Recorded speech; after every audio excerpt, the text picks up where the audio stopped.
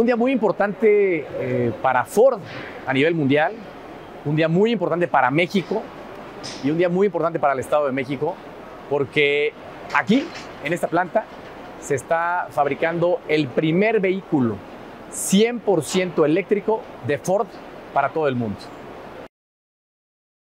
Inicia producción aquí en Cuautitlán Izcalli. Eh, le agradezco muchísimo a Ford porque han tenido la confianza en el Estado de México. Esta planta que hoy cumple además 56 años como planta, pero se transformó para convertirse en esta primera planta que fabrica el auto eléctrico de Ford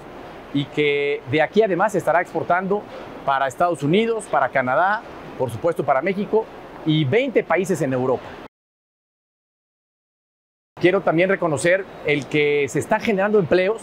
empleos para nuestro Estado, empleos de alta calidad, porque además eh, una parte importante del desarrollo de ingenierías que se está llevando a cabo se hace con ingenieros mexicanos y se comparte con todo el mundo. Y hoy en día esta planta de Cuautitlán